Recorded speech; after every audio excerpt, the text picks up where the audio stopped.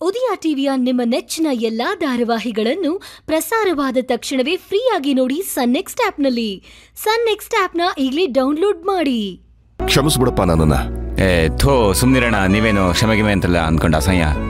ಭಾರತ ಜನ ಹಾಳಾಗ್ತಿದೆ ಅಂತ ಗೊತ್ತಾದ ಮೇಲುವೆ ಹೆಂಗಣ್ಣ ಸುಮ್ಮನೆ ಇರಕ್ಕಾಗುತ್ತೆ?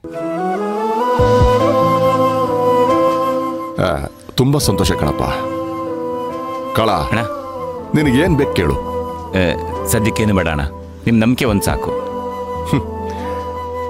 ತುಂಬಾ ಬದಲಾಗ್ಬಿಟ್ಟಿದ್ಯಾ ಕಾಳ ನೀನು? ಶಬಾಷ್. ಒಂದು ನಿಮಿಷ ಇರು. ಆ ಲಕ್ಷ್ಮಿ ಆ ಅಂಗಡಿ ಕೀ ಕೊಡು. ಹಾ ರೀ. ಹಾ ತಗೊಳ್ಳಿ.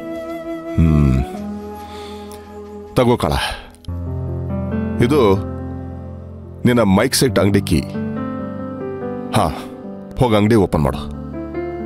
ಇನ್ ಮುಂದೆ ಈ ಊರಲ್ಲಿ ಯಾವುದೇ ಕಾರ್ಯಕ್ರಮ ಆದ್ರೂ ಎಲ್ಲದಕ್ಕೂ ನೀನೇ ಮೈಕ್ ಸೆಟ್ ಅರೇಂಜ್ ಮಾಡಬೇಕು. ಹ್ಮ್?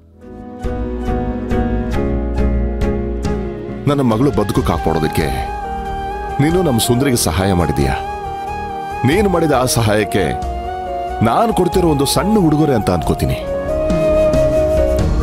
ತುಂಬ ಸಂತೋಷ ಅಣ್ಣ. ನಿಮ್ಮಿಂದ ಏಯ್ ಇಲ್ಲ ಕಳ. ನನ್ನಿಂದ ಅಲ್ಲ. ಒಬ್ರಿಗೊಬ್ರು ಒಳ್ಳೇದು ಮಾಡಬೇಕು ಅಂತ ಅನ್ಕೊಂಡಾಗ್ಲೆ ನಮಗೂ ಒಳ್ಳೇದಾಗೋದು. ನೀನು ಅದನ್ನು ಪಾಲಿಸಿದೀಯಾ? ನಿನಗೂ ಒಳ್ಳೇದಾಗ್ತಿದೆ. ನೋಡ್ತಾ ಇರು ಇನ್ ಮುಂದೆ ನೀನು ಹೇಗಿರ್ತೀಯ ಅಂತ. ಎಲ್ಲ ನಿಮ್ಮ ಆಶೀರ್ವಾದ ಅಣ್ಣ ಏಯ್ ಕಳ ನನ್ನ ಆಶೀರ್ವಾದ ಅಲ್ಲ ಎಲ್ಲ ಮಾಧವನ ಆಶೀರ್ವಾದ. ಹ್ಮ್? ಒಳ್ಳೇದಾಗ್ಲಿ.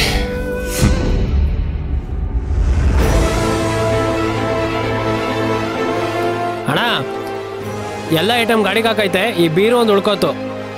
ಅಯ್ಯ ಅಲ್ಲ ಬೀರ್ನ ಮೊದಲೇ ಹಾಕ್ಬೇಕು ತಾನೆ? ಅದರಲ್ಲಿ ಗಾಜಿನ ಐಟಮ್ಸ್ ಎಲ್ಲ ಇದೆ. ಬಿದ್ದು ಹೊಡೆದ್ಗಿಡ್ದು ಹೋದ್ರೆ? ಇಲ್ಲಿ ತುದಿಲಿಟ್ರೆ ಕಷ್ಟ ಆಗಲ್ವಾ? ಪರವಾಗಿಲ್ಲ ಅಣ್ಣ ಹುಡುಗರು ಇಟ್ಕೋತಾರೆ ಹ್ಮ್ ಸರಿ ಹೋಗ್ಲಿ ಹಾಕಿ. ಸರಿ ಅಣ್ಣ ಆಯ್ತು. ಏ ಬರೋ. ಹಿಡ್ಕೊಳ್ರ. ಹುಷಾರಪ್ಪ.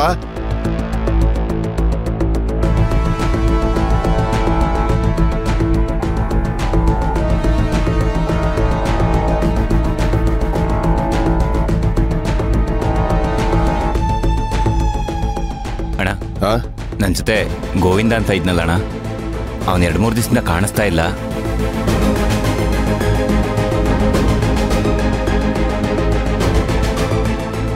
ನಿಮ್ಗೇನಾರು ಗೊತ್ತಾ ಅಣ್ಣ? ಹೌದಾ? ಆ, ಕಲ್ಯಾಣ ಮಂಟಪದಲ್ಲಿ ಗೋವಿಂದನ್ ನೋಡಿದೆ ಅಂತ ಯಾರೋ ಹೇಳಿದ ನೆನಪು. ಆ, ಯಾರು? ಅಲ್ಲ ನೀನ್ ಫೋನ್ ಮಾಡಿ ನೋಡ್ದ್ಯಾ ಫೋನ್ ಮಾಡಿದೆ ಅಣ್ಣ. ಸಿಗ್ತಾ ಇಲ್ಲ. ಹೌದಾ. ಎಲ್ಲಿ? ಅವನ ನಂಬರ್ ಹೇಳು.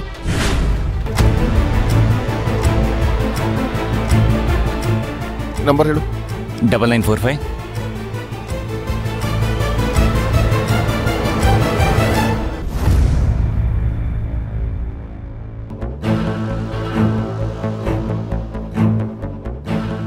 O ಸುಶಾಫ್ ಅಂತ ಬರ್ತಿದೆಯಲ್ಲೋ ಕಾಳ? ಹ್ಞೂ ಅಣ್ಣ. ಎಲ್ಲೋ ಹೋಗಿರ್ತಾನೆ ಬರ್ತಾನೆ ಬಿಡು ಹ್ಮ್ ಸರಿ ಅಣ್ಣ ಅಣ್ಣ ಐಟಮ್ ಎಲ್ಲ ಆಯ್ತಾ? ಹಾಕೈತಣ್ಣ ಆಯ್ತಾ ಆ, ಲಕ್ಷ್ಮಿ ದುಡ್ಡು ಕೊಡು ಹಾ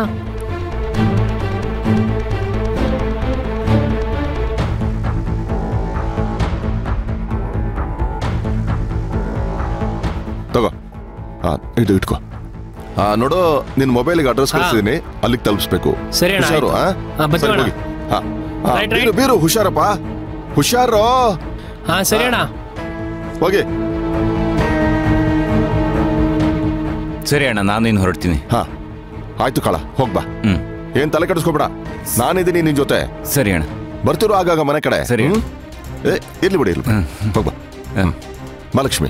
ಹ್ಮ್.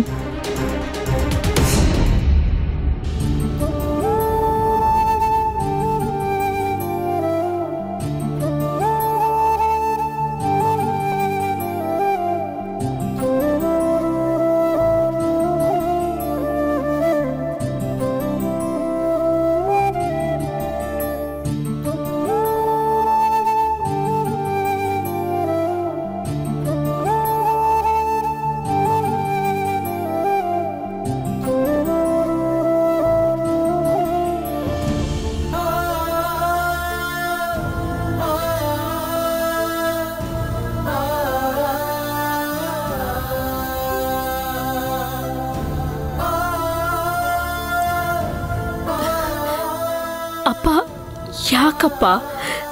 ಸಂತೋಷವಾಗಿ ಕಳಿಸ್ಕೊಡಿ. ಅಮ್ಮ ಭಾರತಿ, ನಾನು ನನ್ನ ಸಂತೋಷನೇ ಕಳಿಸ್ತಿದ್ದೀನಿ ಕಣಮ್ಮ.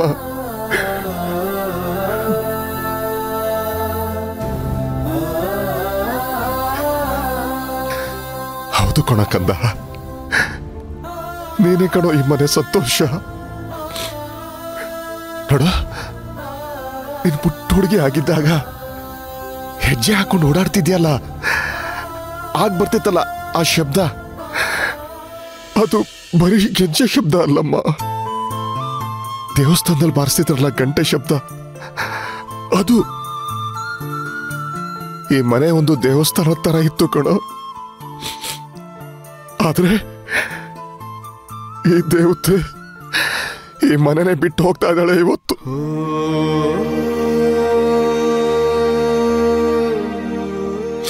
ಹಾಗಂತ ನಾನೇನು ದುಃಖವಾಗಿ ಕಳ್ಸ್ಕೊಡ್ತಾ ಇಲ್ಲ ಭಾರತಿ ನಿನ್ನ ನನಗೆ ಚೆನ್ನಾಗಿ ಗೊತ್ತಿದೆ. ನೀನು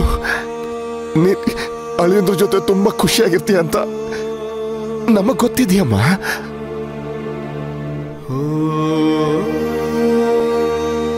ನೋಡು, ಪ್ರತಿಯೊಂದು ಕ್ಷಣನೂ ನೆನಪಿರ್ಬೇಕು.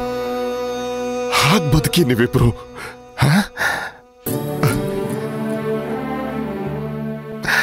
ನಾವು ಅಷ್ಟೇ.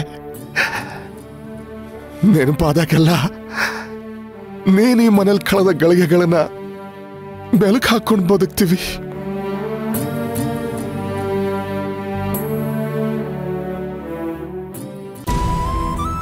ಅಪ್ಪ ನೀವು ಹೀಗೆಲ್ಲ ಹೇಳಿದ್ರೆ ನನಗೆ ತುಂಬಾ ಹಿಂಸೆ ಆಗತ್ತೆ. ಅಯ್ಯೋ ಕಂದ ಇದ್ರಲ್ಲಿ ಹಿಂಸೆ ಆಗೋದೇನಿದೆಯೋ ನೋಡು ನಿನಗೆ ನಮ್ಮ ನೆನಪಾದಾಗ ನಿನಗೆ ಈ ಮನೆ ನೆನಪು ಬರಲ್ವಾ? ಹಾಗೆ ನಮಗೂ ನಿನ್ನ ನೆನಪು ಬರುತ್ತೆ.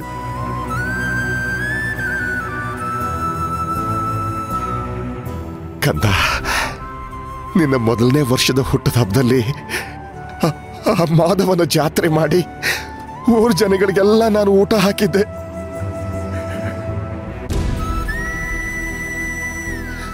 ಈಗ ನೀನ್ ಮದುವೆ ಮಾಡಿ. ಊರ್ ಜನಕ್ಕೆಲ್ಲ ಊಟ ಹಾಕ್ಸಿದೀನಿ. ಕಾಲ ತುಂಬಾ ವೇಗವಾಗಿ ಓಡ್ತಿದೆ ಕಂದ. ತುಂಬಾ ವೇಗವಾಗಿ ಓಡ್ತಿದೆ.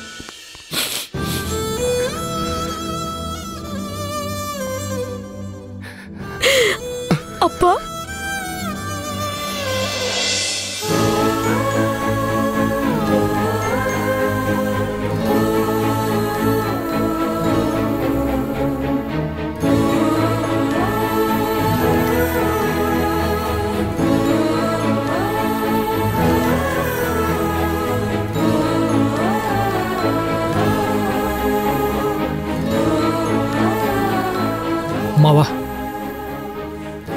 ನೀವು ಭಾರತೀನ ನೋಡಬೇಕು ಅಂದರೆ ನನಗೆ ಒಂದೇ ಒಂದು ಫೋನ್ ಮಾಡಿ ಸಾಕು. ಅವಳನ್ನ ಕರ್ಕೊಂಬಂದು ನಿಮ್ಮ ಮುಂದೆ ನಿಲ್ಲಿಸ್ತೀನಿ. ಸರಿನಾ?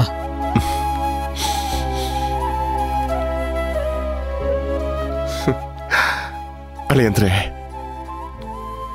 ನೀವು ನನ್ನ ಮೇಲೆ ಎಷ್ಟು ಅಭಿಮಾನ ಇಟ್ಕೊಂಡಿದ್ದೀರಾ ಅಂತ ನನಗೆ ಗೊತ್ತು. ಈ ನಮ್ಮ ಮಗಳು ಭಾರತಿನ, ನೀವೆಷ್ಟು ಇಷ್ಟಪಡ್ತೀರಾ ಅನ್ನೋದು ನನಗೆ ಚೆನ್ನಾಗಿ ಗೊತ್ತಿದೆ. ಇಂಥ ಮಾತೆಲ್ಲ ಮಾತಾಡೋದು ತಪ್ಪಾಗತ್ತೆ. ಆದರೂ ತಂದೆಯಾಗಿ ಈ ಮಾತನ್ನು ಹೇಳಬೇಕು. ಇದು ನನ್ನ ಕರ್ತವ್ಯ. ನಮ್ಮ ಮಗಳು ಭಾರತಿನ ಮುದ್ದಾಗಿ ನೋಡ್ಕೊಳ್ಳಿ.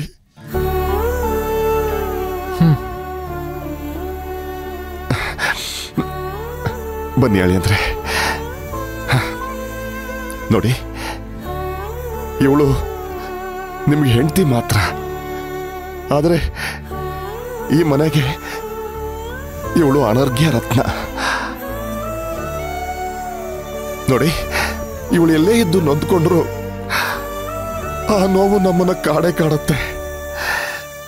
ಗಂಡ ಹೆಂಡತಿ ಅಂದಮೇಲೆ ಈ ಕೋಪ, ತಾಪ, ಮುನಿಸು, ಇದೆಲ್ಲ ಇದ್ದಿದ್ದೆ. ಇದನ್ನೆಲ್ಲ ಬಿಟ್ಟು ಬಾಳೆ ಅಂತ ನಾನು ಹೇಳ್ತಾ ಇಲ್ಲ. ಆದರೆ ಒಂದು ಗಾದೆ ಇದೆಯಲ್ಲ ಗಂಡ ಹೆಂಡತಿ ಜಗಳ ಉಂಡು ಮಲ್ಗೋ ತನಕ ಅಂತ. ನಿಮ್ಮಿಬ್ಬರ ಮಧ್ಯೆ ಎಷ್ಟೇ ಕೋಪ ತಾಪ ಬಂದ್ರು ನಿಮ್ಮಿಬ್ಬರ ಪ್ರೀತಿ ಅದನ್ನೆಲ್ಲ ದೂರ ಮಾಡಿಬಿಡ್ಲಿ. ನಗನಗುತ್ತಾ ಖುಷಿಯಾಗಿ ನೂರು ಕಾಲ ಬಾಳಿ